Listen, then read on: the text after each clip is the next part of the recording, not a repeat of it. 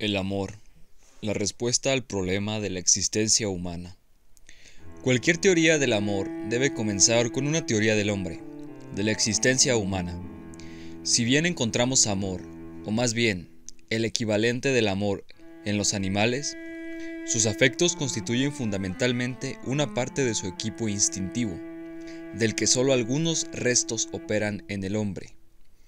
Lo esencial en la existencia del hombre es el hecho de que ha emergido del reino animal, de la adaptación instintiva, de que ha trascendido la naturaleza, si bien jamás la abandona y siempre forma parte de ella.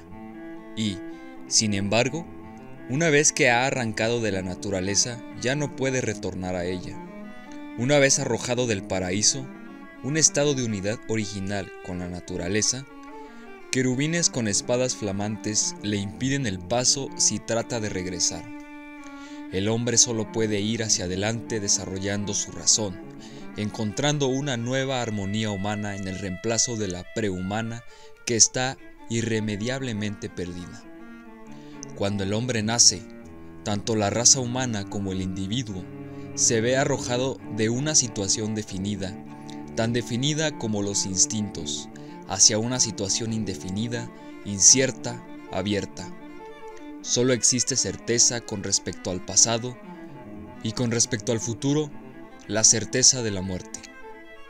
El hombre está dotado de razón, es vida consciente de sí misma, tiene conciencia de sí mismo, como una entidad separada, la conciencia de su breve lapso de vida, del hecho de que nace sin que intervenga su voluntad y ha de morir contra su voluntad, de que morirá antes que los que ama, o estos antes que él, la conciencia de su soledad y su separatidad, de su desvalidez frente a las fuerzas de la naturaleza y de la sociedad.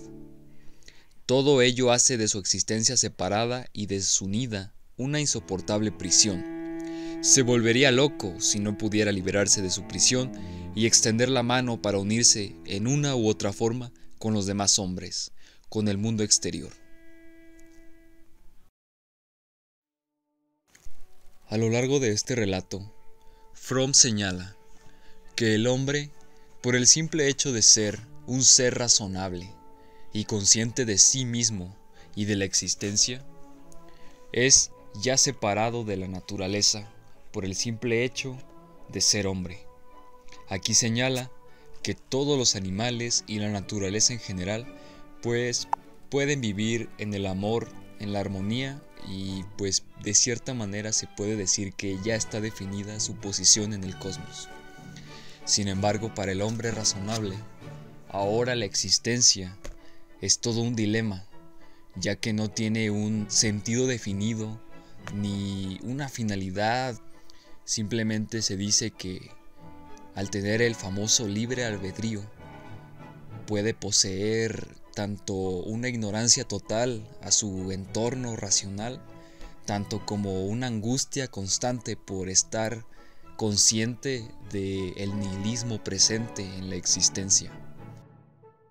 El amor como concepto de volver a unirse, ya no con la naturaleza original y un lazo igualitario, como un animal o un ser inconsciente de sí mismo, sino como hombre que en base a su razonamiento crea lazos afectivos que de cierta manera lo llevan a sentir la unión con la naturaleza. Y esa anhelada unión es la que todos buscamos a través del amor, según la teoría de Fromm.